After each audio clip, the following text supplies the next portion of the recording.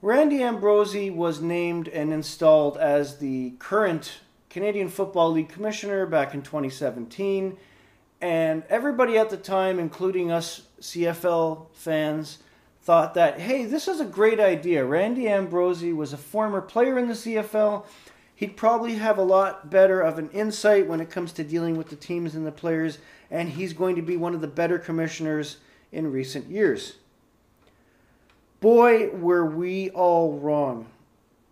After having a decent man in Jeffrey Orridge as commissioner, but ultimately a lame duck, Randy Ambrosie has so far been one of the worst CFL commissioners in history. And that is for the whole league. This is a man who's pushed a political agenda.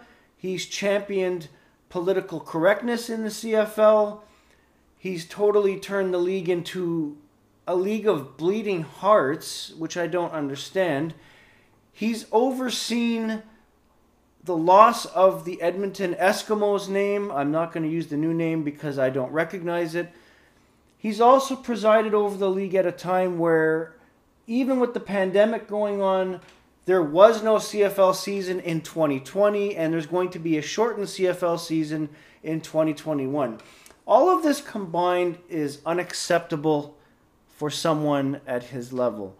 And add to the fact that almost every other professional sports league had a season in 2020. The NFL had a full regular season, albeit played in empty stadiums up until the end of the season. They had a full season. It was great. I enjoyed it. I didn't enjoy the Super Bowl. I'm not getting into that.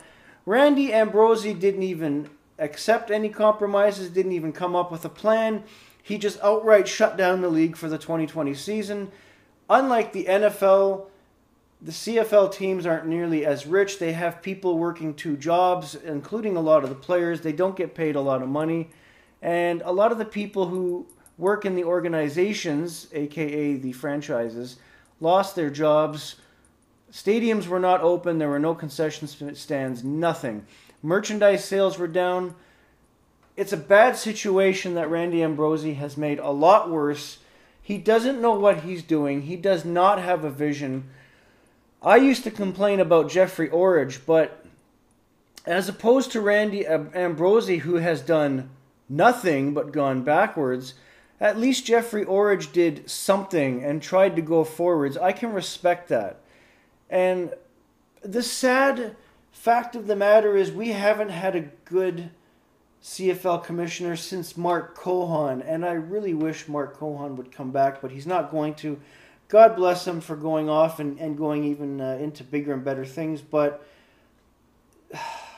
the the leadership, if you can call it that, or management of the league since Mark Cohon has been pathetic at best. And again, I don't mean to dump on Jeffrey Orridge, but he didn't accomplish much of anything, even though he tried. I liked the guy. I thought he had potential, but he didn't stay long enough to achieve anything. He kind of gave up on it. Randy Ambrosie has gone backwards in so many ways.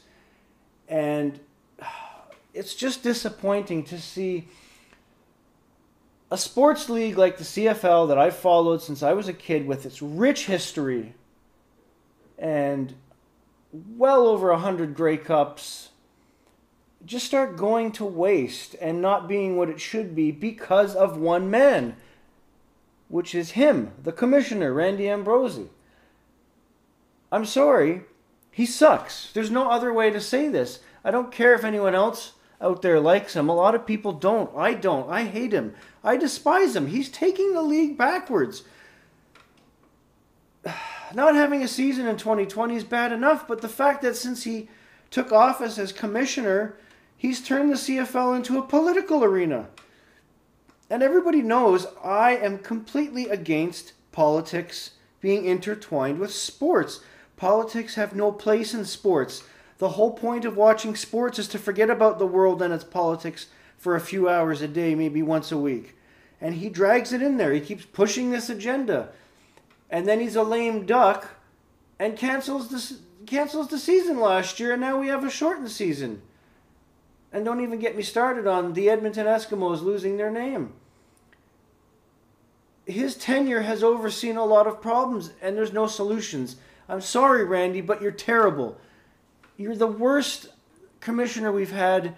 More than anything, you need to either resign of your own free will or some or the board of directors needs to get off their ass, stop kissing each other's butt all the time and fire him. Get him out of there. Get someone in who appreciates the history of the game and wants to move it forward. Don't make these ridiculous deals with the Mexican Football League. And that's another thing. The Mexicans have a football league? Are you kidding me? And now he's looking to Japan. Japan plays football? Randy, you're going in the wrong direction. Maybe it's all those head injuries you suffered playing football. I don't know. You're terrible. Get out. You should resign right now. Nobody likes you. You suck. End of story. Have a great day, everybody.